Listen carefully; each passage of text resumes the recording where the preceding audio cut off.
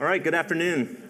Uh, thank you so much for being here. My name is Daniel Bohannon, and today I'll be talking about um, PowerShell obfuscation, um, in particular, uh, a tool that I released last month called Invoke Cradlecrafter.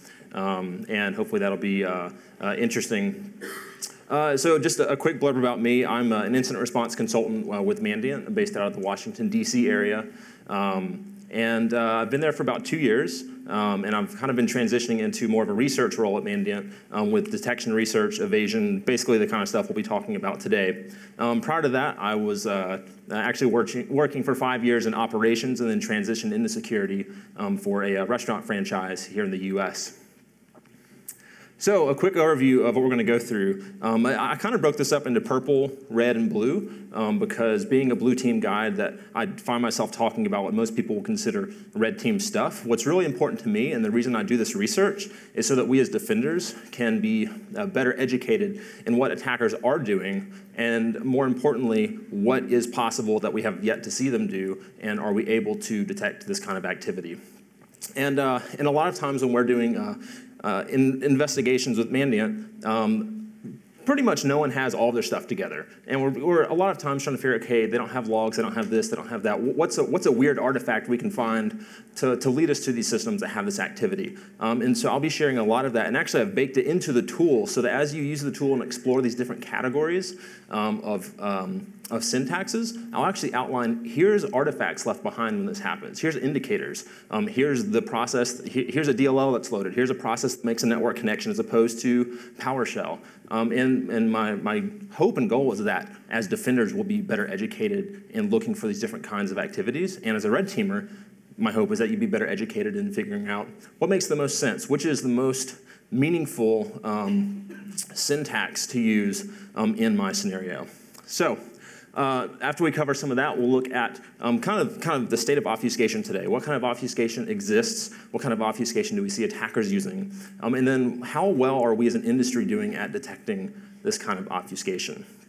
And then we'll look at some of the new stuff, um, looking at different Cradle syntaxes, kind of breaking it down into three, three buckets of new material here. And that is looking at obscure download Cradles. And what I mean by that is um, basically pretty much a one-liner that will allow you to remotely download a script and execute it usually entirely in memory. Um, and attackers are using this all the time. Attackers, pen testers, et cetera. We'll then look at some interesting um, token obfuscation, um, which, uh, which is a bit different than uh, any of the other obfuscation that I've covered before. Um, and then we'll look at some obscure invocation syntaxes, which again is also very different from what I've covered before. Um, and then we'll look at what does it look like to actually start trying to detect some of these really cryptic download cradles um, from an artifact and indicator um, uh, perspective. And then we'll go through a, uh, a, demo, and hopefully that will go well. So three things that I want to cover up front. Um, because I get a lot of questions on, um, on this kind of stuff. The first one, blocking PowerShell is not a realistic option. And the simple sentence that explains this best is PowerShell is so much more than PowerShell.exe. PowerShell.exe is a host application. The real heart and guts of PowerShell is system management automation.dll. And anything can load that. So blocking PowerShell.exe is, is a fool's errand if you're trying to block all avenues in which PowerShell can run.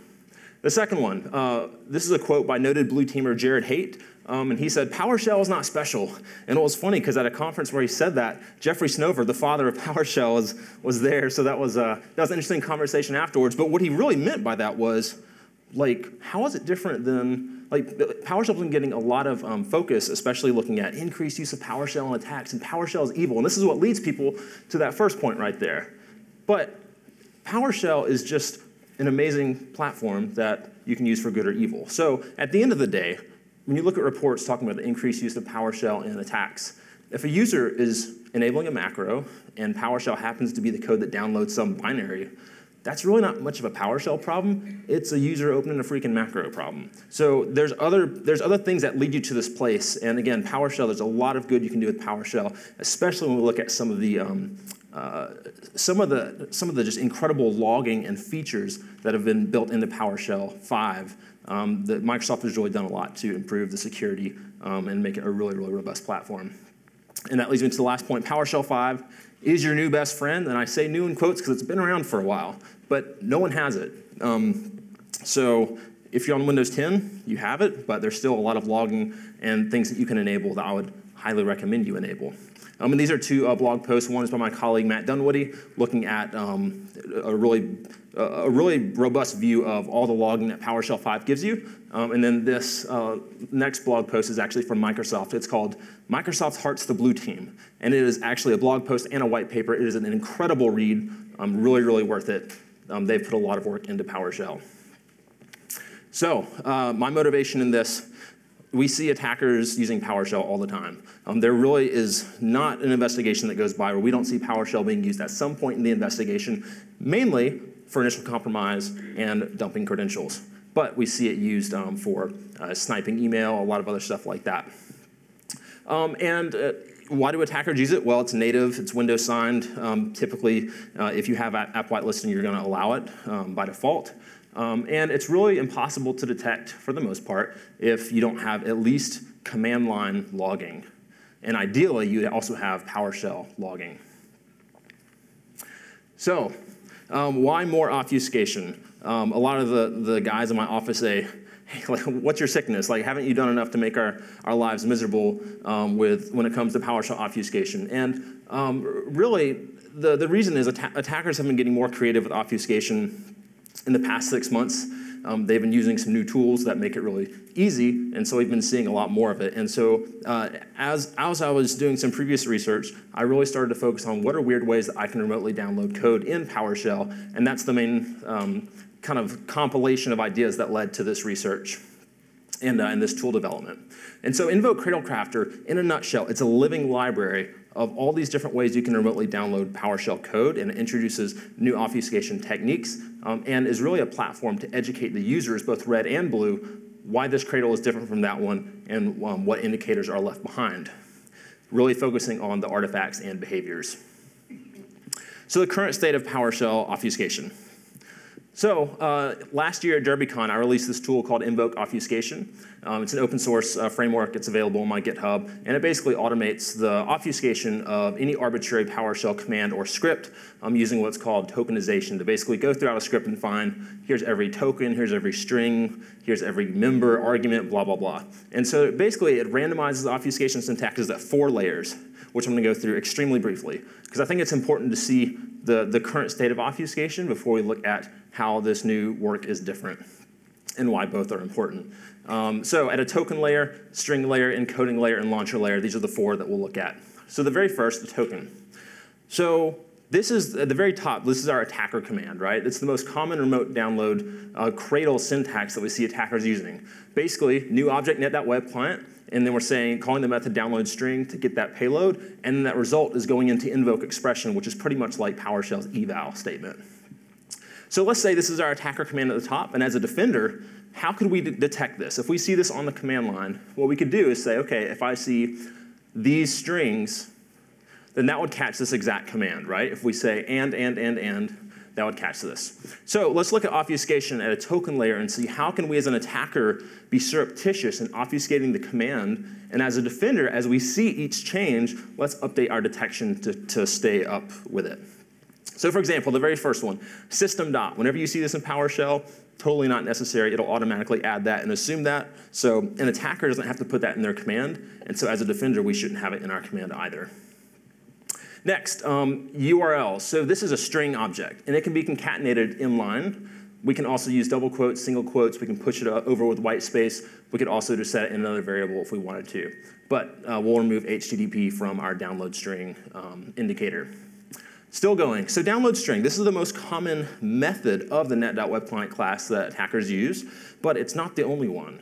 And it's definitely not the only one that we should be looking for because we have seen attackers and a bit of commodity malware using some of these different methods. We have download file, download data, and actually this open read, which uh, I've only seen used one time and most people don't look for. Um, but uh, these are all totally valid. Now, an interesting point here. In invoke obfuscation, since it has to handle any arbitrary PowerShell command or script, um, it actually can't swap these methods because the first one's going to return an expression. Download file is actually going to download it to disk, and download data is going to be a byte, uh, a byte array, and open read is going to be a byte stream. So there's more context you need to have um, when you're looking at these different methods. So invoke obfuscation will never substitute different methods.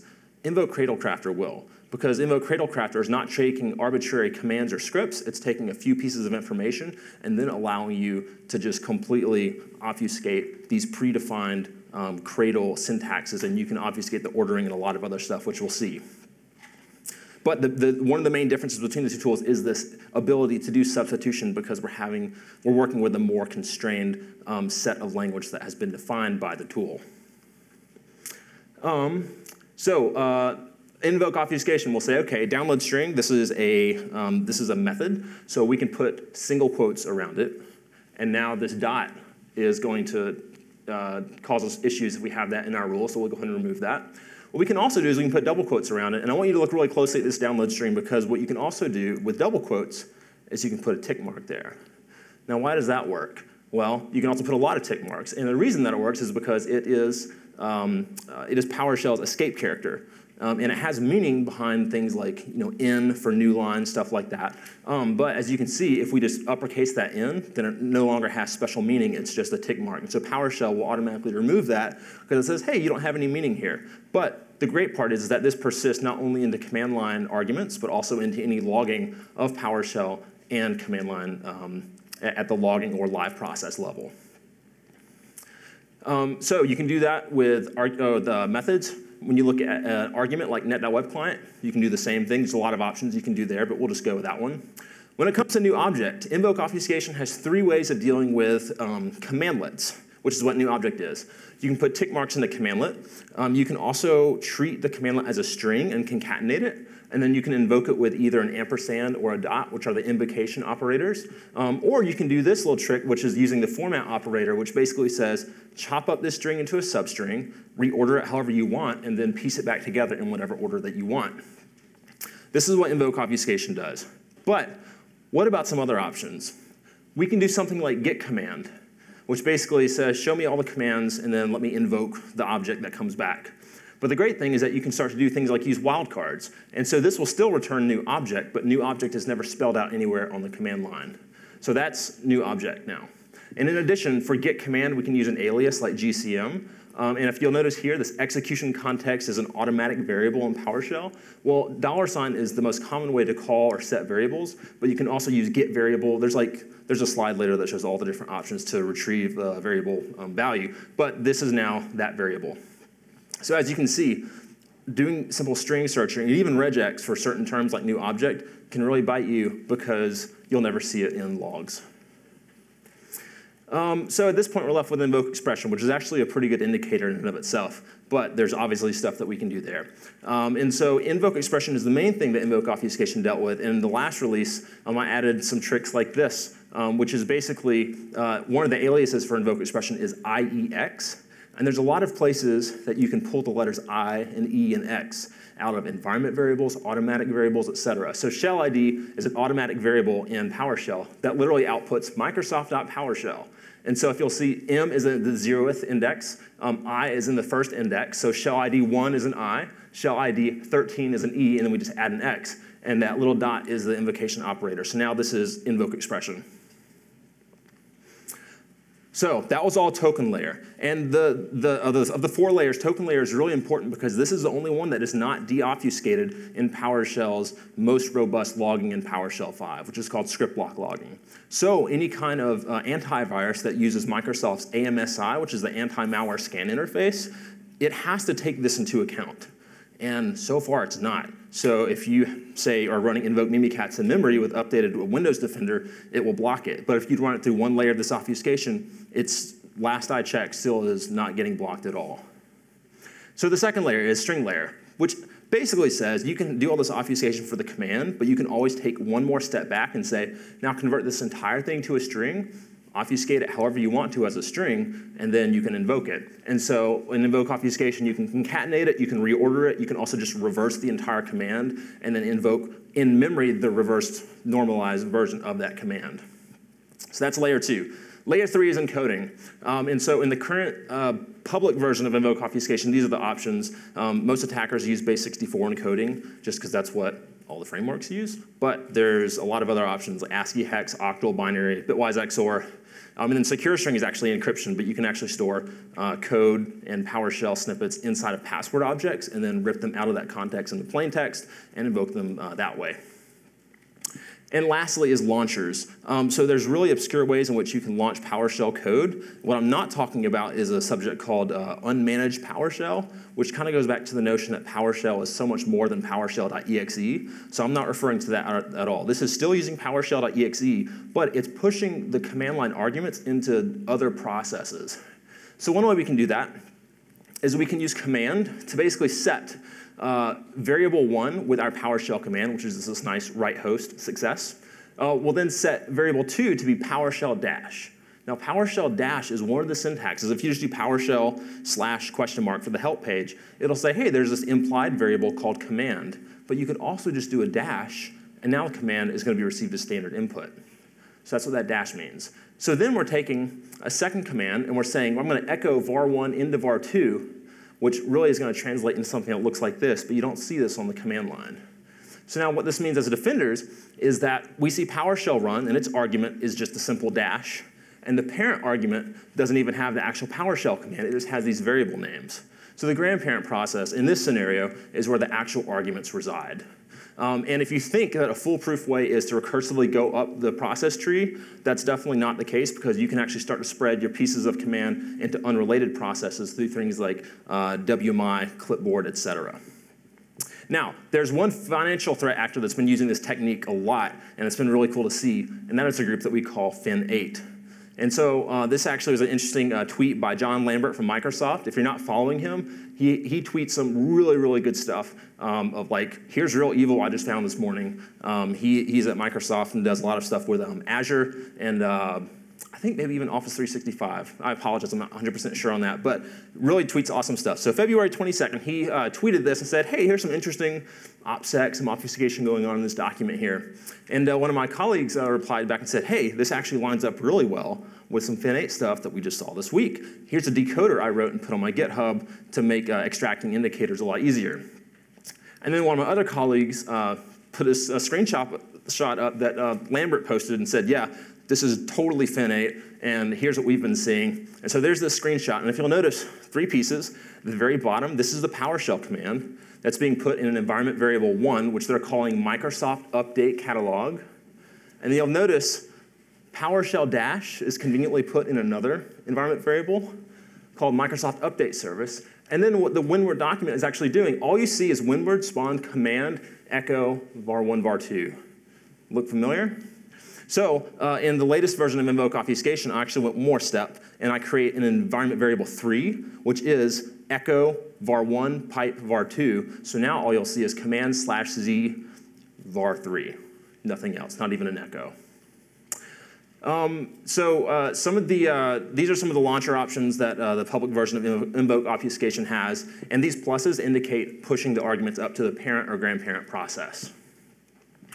So that's a really quick uh, look at what obfuscation kind of looks like today. Um, and from a detection perspective, it's actually not, not too great. Um, so again, as I mentioned, a lot of AV isn't really, um, surprise, surprise, catching this. Um, even ones that do in-memory scanning or even that rely on AMSI. It's not a knock on AMSI. It's a super awesome feature, but it still comes down to writing a signature, um, which is uh, difficult in traditional terms to catch some of this kind of stuff, but there totally are ways to do it.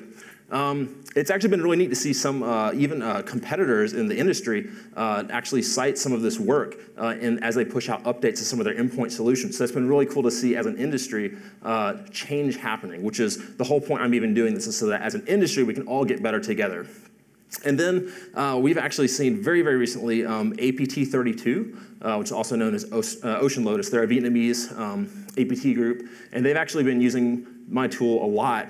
Uh, and they, I think their inner key is stuck because they keep doing layer and layer and layer and layer of obfuscation. So I've done, done a lot of deobfuscating of my, uh, of my tool, which has been uh, uh, I wouldn't call it happy or sad. It's a kind of weird feeling. But uh, it's definitely been interesting to see it uh, used a lot more out there besides just pen testers using it.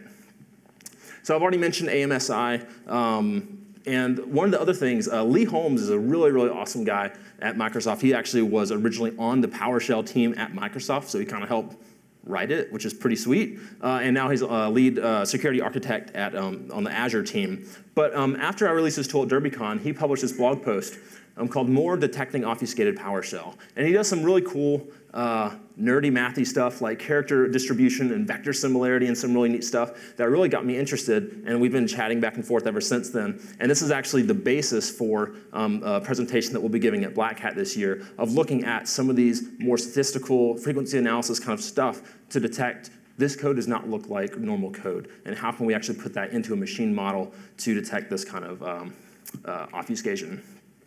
So that was, that was recap. What's the new stuff? Let's look at more crafting cryptic cradles. And I have to say, first off, more is an alternate spelling. It comes from more plus roar.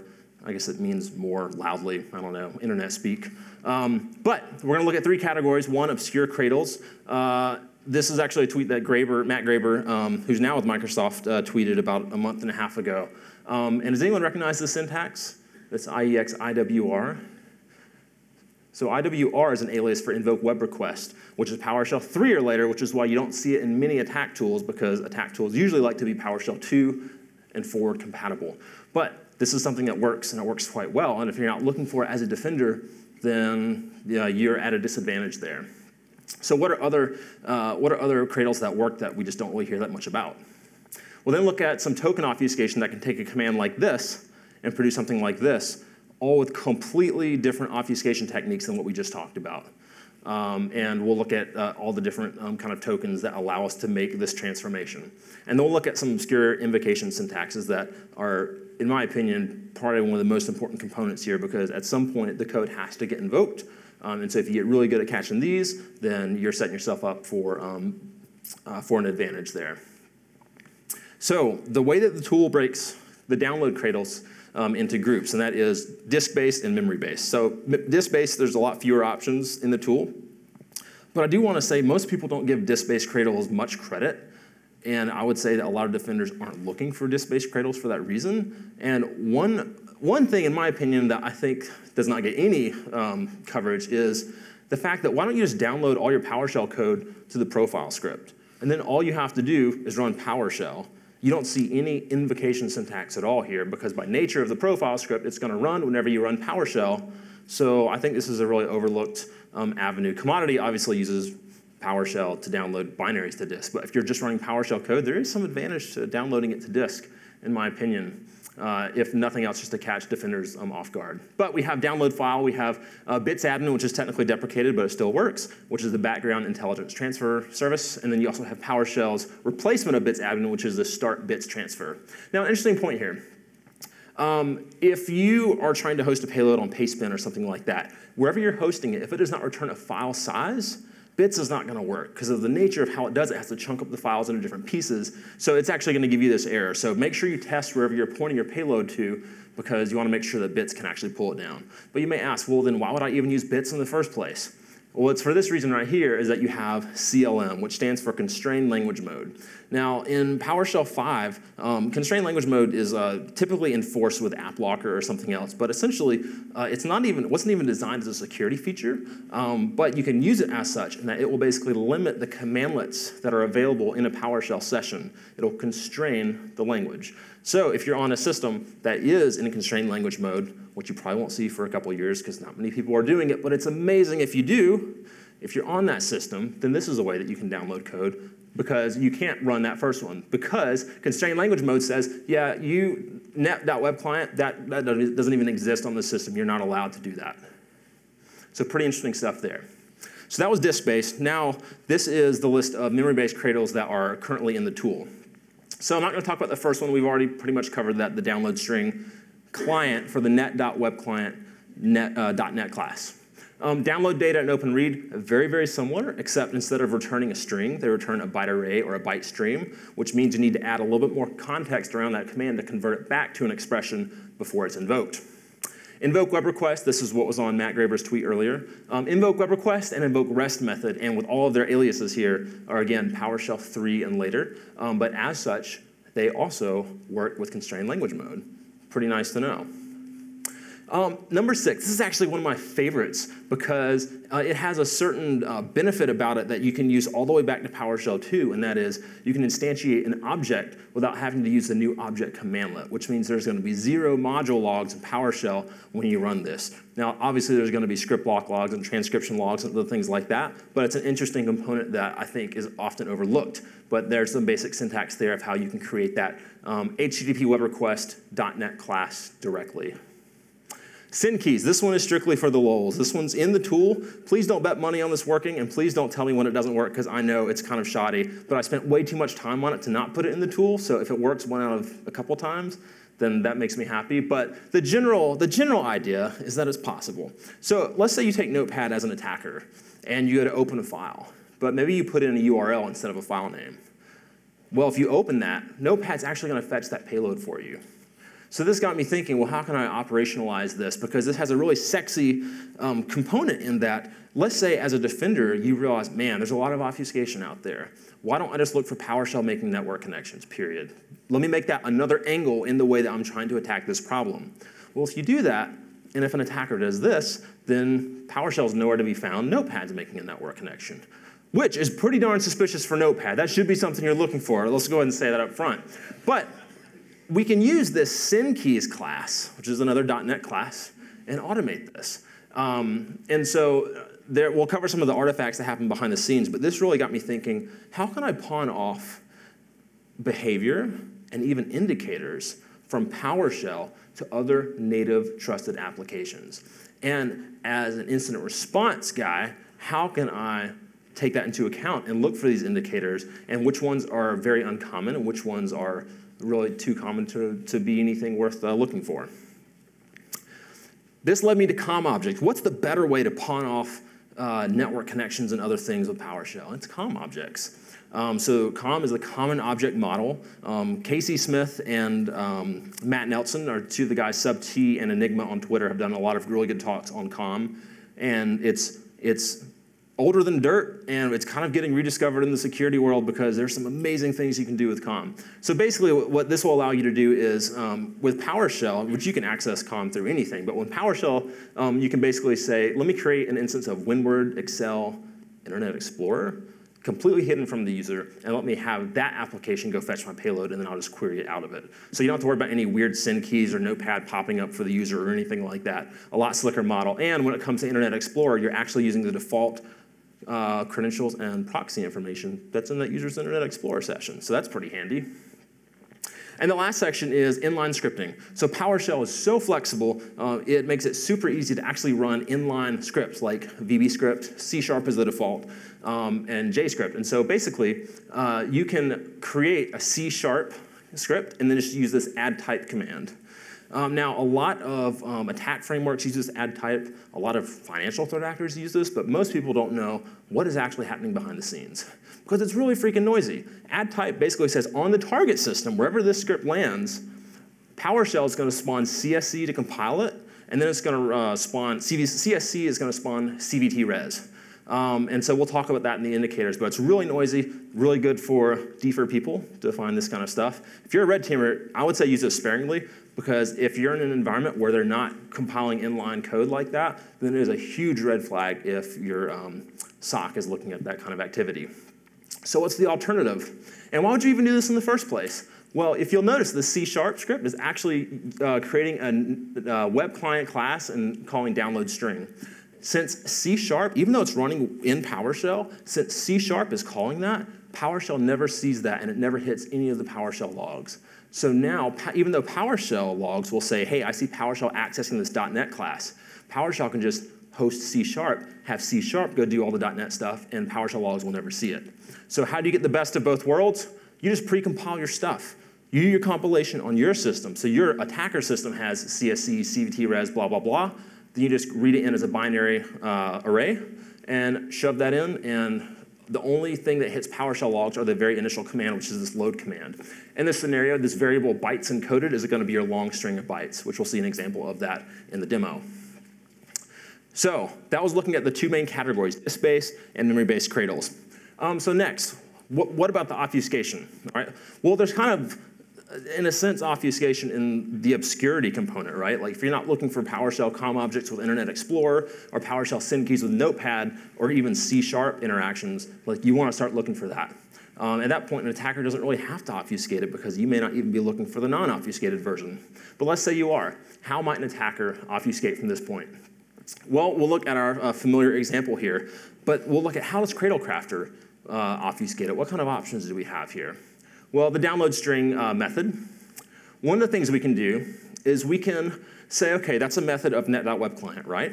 So what if we create a net.web client object, just like we're doing in the command, but let's just say .psobject.methods. And this is basically a way to say, tell me about yourself. What kind of methods do you have? What kind of variables do they take? And you get this huge list of all these methods that, um, that the object has. You could also do pipe it to get member in PowerShell and get the same uh, stuff in a lot prettier format. And uh, Invoke Cradlecrafter has both of those options built in. But we'll go back with the first one. So PS object methods.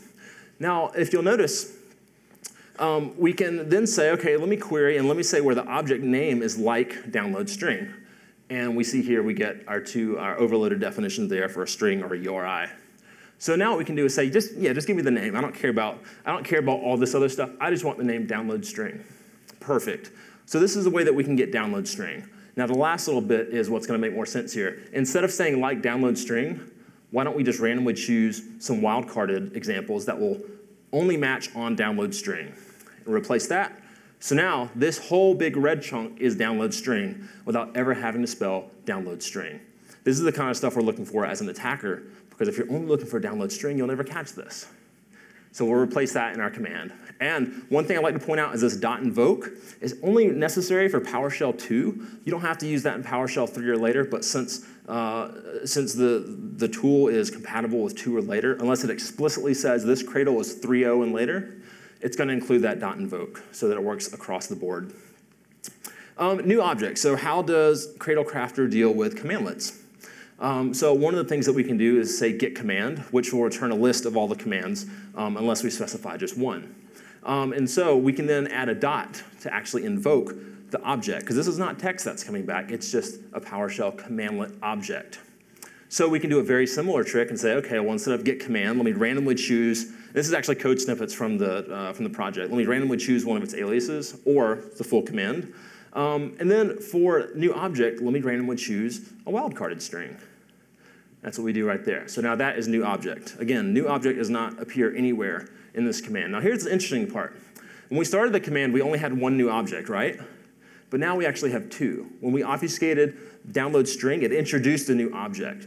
So when I built the, uh, all these substitutions, I basically have tags as placeholders. So anytime you obfuscate one component, if there's any other instance of it, it will also obfuscate those. So when we obfuscate this new object, commandlet, you'll see it's actually going to obfuscate both of those. So as the commands get bigger, you'll see it actually propagate more changes in more places. Uh, alternatively, this is a PowerShell 1.0 syntax, again, randomly generated from the tool, that is also a new object. So obviously a bit more uh, heinous, um, but it actually comes down to um, get command name. That's the wildcarded value right there. And you can see this, this is our new object string right here. And this is so big because it's enumerating every method of the syntax even required to call the method. Now, some other things that are being obfuscated behind the scenes. With invoke obfuscation, since you're dealing with huge scripts, everything is completely random, as random as I could possibly make it. Now, that's good and bad. It's good because it's very random, but it's also bad because me, when I'm using my tool, sometimes I know there's a syntax buried way down in there, and I just run it again and again and again until that syntax comes up.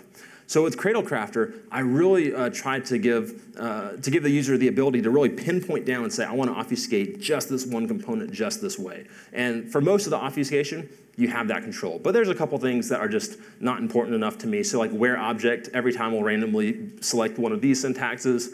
For uh, the string like, it'll do like, case sensitive like, or case insensitive like. And then for uh, dollar, uh, dollar sign underscore, this is the current variable. Um, and so there's a lot of different ways you can retrieve the value of a variable. These are just some of the means using get variable or its aliases, get item or its aliases, get child item, which is basically your dir command, um, and its aliases, and then also using dot value versus dash value only. And again, the way that parameter binding works in PowerShell, value only works all the way down to v in this case, so any of those substrings are fair game. So we're left with IEX. And um, the one, one last piece that we're able to do, since we really are dealing with a confined set of uh, syntax, is that we can do things like reordering the command or chopping it up into pieces with like logically named variables or very illogically named variables. And we'll see examples of that in the demo in just a minute. So we're left with invoke expression, IEX. What are different ways we can invoke this sucker? So invoke expression, that's kind of the fan favorite. It's typically what everyone's using, and it's something that if you're not looking for IEX and invoke expression on the command line, you're missing a lot of golden opportunities. But please don't stop there, because here's other options. You can use git alias or git command um, with wildcarded uh, strings to produce invoke expression or IEX. You can also use a PowerShell 1.0 syntax, which is a lot uglier, uh, but people really aren't looking at it because most people aren't aware of it. Um, you can use get commandlets um, to, again, basically produce the object of invoke expression. Like in this case, I asterisk produces invoke expression. Pretty crazy. Um, we can also uh, just use invoke script. Um, and, or sorry, I misspoke. This I is invoke, uh, invoke script, not invoke expression. Um, you can also use invoke command, which basically instead of invoking an expression, which is the string, you have to have a script block, but there's ways you can convert strings into script blocks, so there's a lot of options there. Um, PS run space, this was actually a suggestion that uh, Matt Graber had that was really cool in that you just create an instance of PowerShell, you add a script, which is your payload, and you just do the dot invoke operator to invoke that script. Concatenated IEX, this is really where I've had the most fun. So I'm gonna come back to this in one second. Let's cover the last three real quick. Invoke is workflow, PowerShell three or later. I've never seen this used, but it totally works. Um, and so again, PowerShell three or later. Um, dot sourcing, these are both for the disk-based uh, cradles. Um, you can just dot source your path and it will invoke it. You also have import module or its alias is IPMO um, to again invoke a script on disk. And uh, Commodity's been doing um, import module once or twice. So it's been kind of interesting to see commodity malware try out some of the newer stuff. Um, so again, going back to concatenated IEX, this is what invoke obfuscation has, again, using something like an environment variable like compspec or automatic variables um, like shell ID to, to pull out the letters IEX. So in invoke cradlecrafter, th this is the only overlap between the two projects, the only overlap.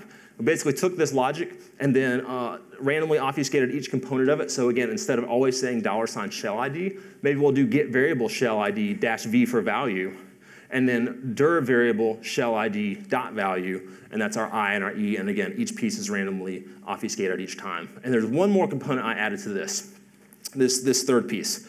So there's other ways that we can uh, produce strings in PowerShell. So let's say we have, in this case, it may be a little hard to see, but we have a quote, quote, pipe get member, which in this case, it's an empty string. But you can take any string and say, hey, tell me about yourself. Get member, what do you have? What are you up to? Um, it has a, a, nice list of methods and properties and all this kind of stuff. And so you can notice, okay, there's this one method that conveniently has i, e, and x in it. That's pretty cool. So how can we get that? Uh, we can just say string dot index of. And now we have all of our definitions right there. Now, all we need to do is cast that to a string, which is a couple options, but we'll just look at the, the string direct cast with square brackets. And now this is all one big string. So you can see there's tons of options for i's and e's and x's. So I wrote a script to go through and enumerate every single string uh, uh, method, pull out all the i's and the e's and x's, um, and then uh, randomly choose an i and e and x index to produce IEX. So basically the code looks like this. For each of these, it'll basically go through and randomly choose um, all these numbers. Now, this is not just to be uh, really offensive and mean to blue teamers. It's basically to say, please don't just write a signature based off of number one, number two, number three, and call it a day. Like, we need to think past that because there's so many options out there. So, detecting encrypted cradles. Um, we, we need to move past just looking at PowerShell syntax. What is actually behaving under the scenes? And this is where it comes to, what about PowerShell making network connections?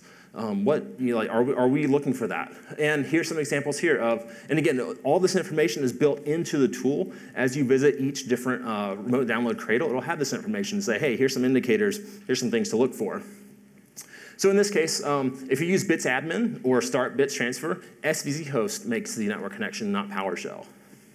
Um, if you use WinWord or Excel or IE, obviously those make the network connections, not PowerShell. And then uh, with Notepad, actually Notepad and SVC host make the network connection, actually a lot of network connections if it's a large payload. Um, uh, which is an example here of both SVC host and Notepad making a ton of network connections out, um, both to uh, the bit.ly uh, shortened URL and then pastebin forwarded onto after that in this example. Um, Parent-child process relationships. This is really, really good, but attackers are starting to realize you can just rename PowerShell to something else, and that pretty much screws a lot of defenders. So I want you to think about that. Like, how many of your rules are based on process name is PowerShell and IEX or Net Web Client, blah, blah, blah. Like, if an attacker just renames PowerShell, and they're totally doing it, like, if PowerShell is renamed to Firefox.exe, would that destroy all of your rules? And if it would, then you need to rethink some of those rules. And it's definitely not easy. I'm not talking it down, but we should definitely be aware of this because saw it as recently as last week. So, but parent-child process relationships. Um, uh, in like with COM objects, PowerShell is never spawning WinWord, Excel, or Internet Explorer. The existing instance of, F, of uh, SVC host spawns those. So you're not going to see that parent-child process relationship there. And it's actually not super uncommon to have SVC host spawn those binaries. Um, keys, PowerShell spawns notepad. With inline scripting, you'll see PowerShell spawn CSC uh, or VBC if, if, you're doing inline VB script, um, depending on the language there.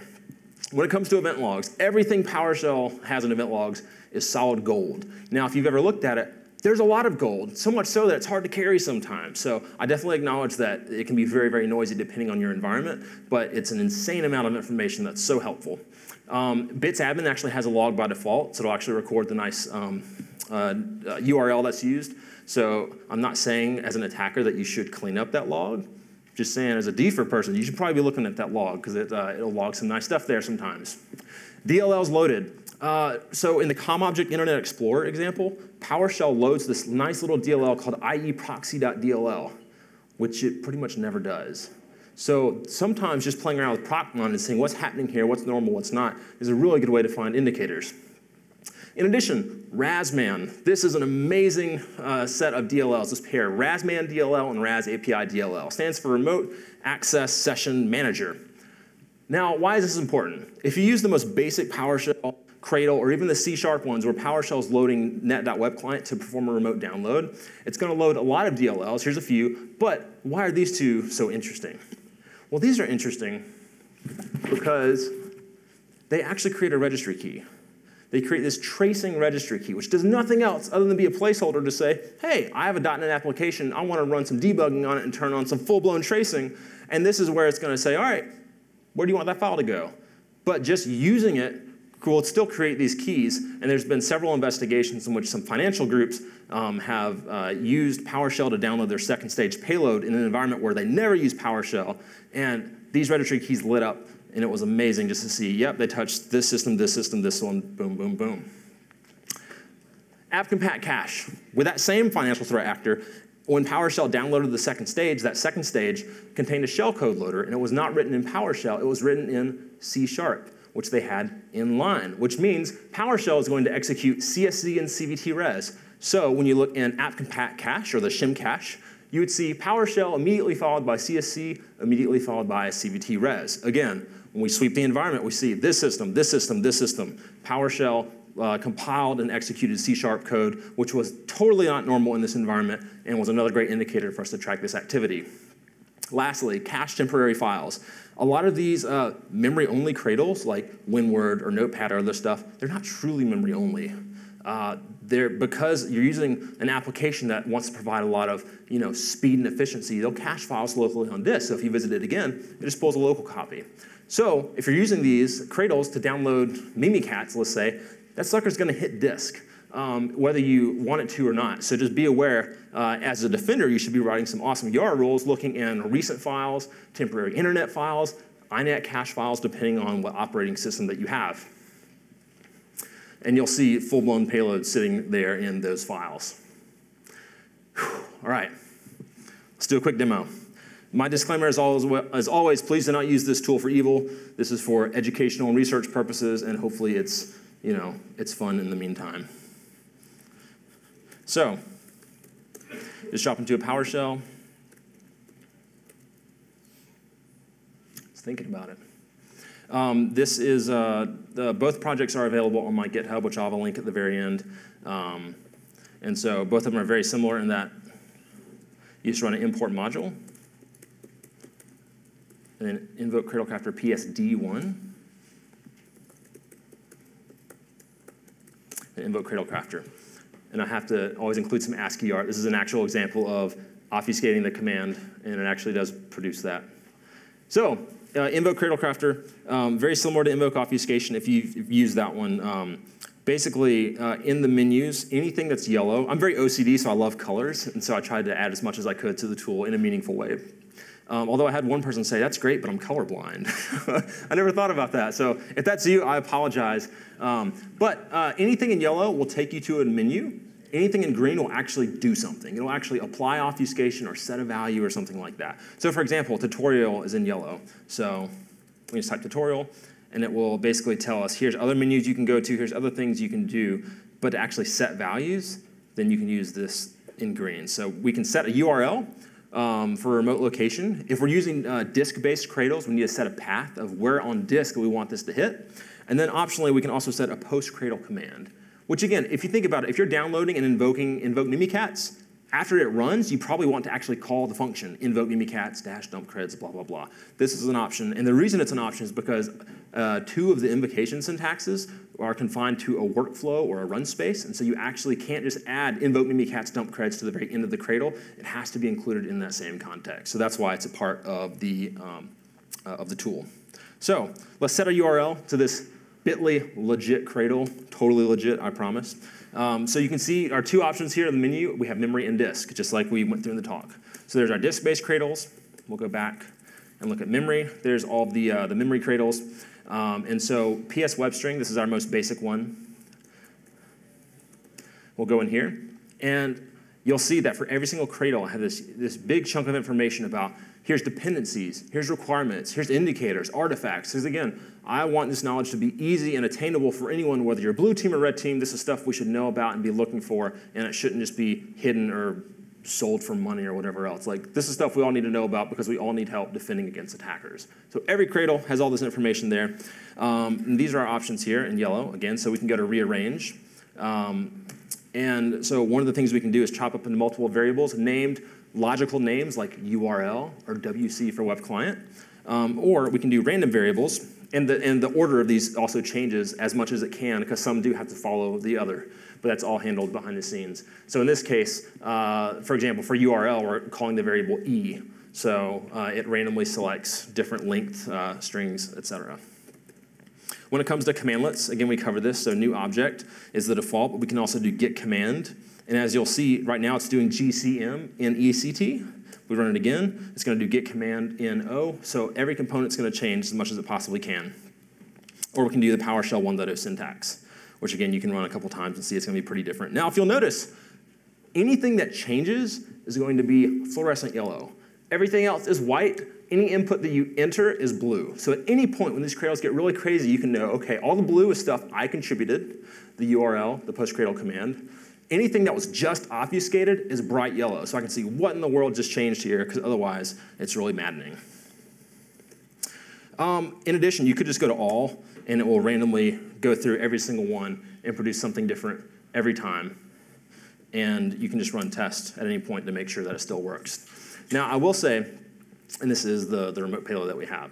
Uh, by default, I do not add uh, an invocation um, syntax. With all, it does get added. But I want it to be easy to go in and explore and make sure, does my payload actually download? I don't want to invoke this beacon on my system, but I just want to make sure the payload comes down. So the very last thing I'll, uh, I'll show um, is that um, the, the, the compiled, uh, PS compiled sharp, and you can use wildcards and regex and all that stuff. So like, for example, you could just go back and say wildcard, randomly choose one, I don't care. Um, so for this, it's gonna take your inline C sharp code, it's gonna go through, and it's going to compile it on your system, and it's also gonna compress um, adjacent zeros, because there's a lot of them, just to save space, cuts the space down in about half. And at any point, you can run clip to copy to clipboard, out to copy it to disk, and finally, you can run show at any point. It will show you the length of your obfuscated command, It'll show you what you started with, um, and it'll also give you your command line syntax. So when you start to build a lot of different um, obfuscation options, just copy that sucker out, and now you can just run it straight from CLI, no interaction, nothing like that. so that's the end of the demo. Um, and I just want to say, oh, the slides went back. All right. Uh, don't run away from PowerShell. It's really awesome. There's a lot of good security features. Blue team should embrace it. Um, enable logging, increase the default size, aggregate those suckers, look at them. Look for indicators of obfuscation. It's a lot easier said than done, but something we need to do. Don't be afraid of failures. We should share them and all learn from them because none of us get this stuff right on the first try or second or third or fourth. And in avenues like this, a great opportunity to share that kind of information. Lastly, I get to work with a lot of awesome colleagues who really support this kind of research and make it super exciting to hunt for attackers every day. Um, and especially my wife, because she watches me write a lot of code at home, which is surprisingly not the most exciting thing for her to watch me do. And so just a big thank you to her because it really is a team effort there. Um, so I realize I'm out of time, but I just want to say thank you very much um, for your attention. And I'll be around all day today and tomorrow, so I'd love to, to chat um, and just, uh, just see what you guys are doing and answer any questions I have. So thank you very much.